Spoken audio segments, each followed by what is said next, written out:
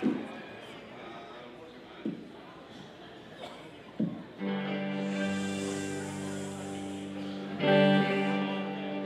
uh, written uh, long ago by uh, friend of ours named Dino Valente.